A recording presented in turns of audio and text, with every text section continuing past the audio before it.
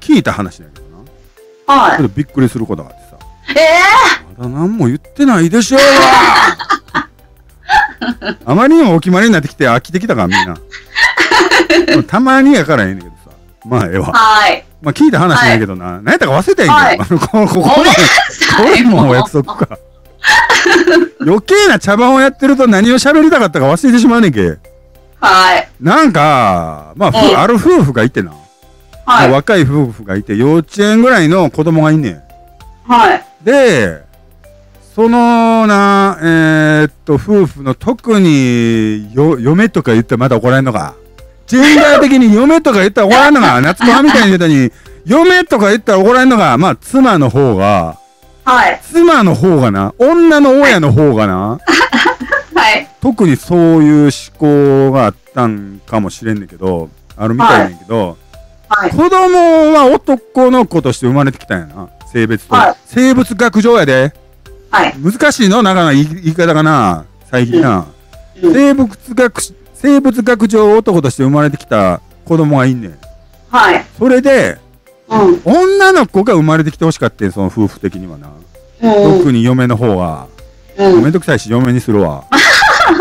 嫁でええやんけ、もう別によ。よ言い方なんてどうでもええねんけ。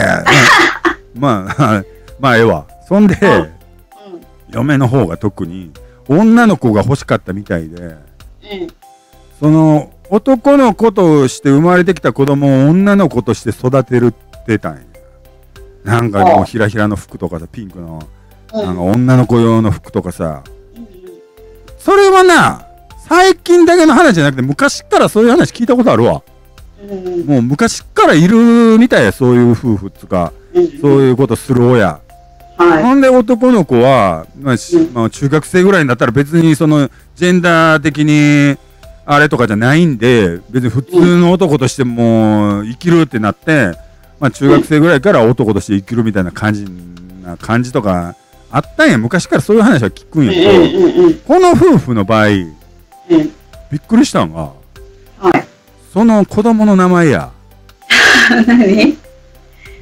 だからその女の子としてそなんか女の子が生まれてほしかったし女の子として育てたいんやからなんかどっちでもいけるような名前みたいなさああ、はいはい。光とかさうんうんうん。あー薫とかさ薫っていう名前勇気とか？まあ勇気とかさそういううんうんどっちでもいける名前とかつけてんのかなとか思うやんうん。びっくりすってねまだ何も言うてへんやろ2回目。あまあちょっとフェイクでほんまの名前言うとあれなんだよなうん俺が考えた、まあ、それっぽい名前言いますよ。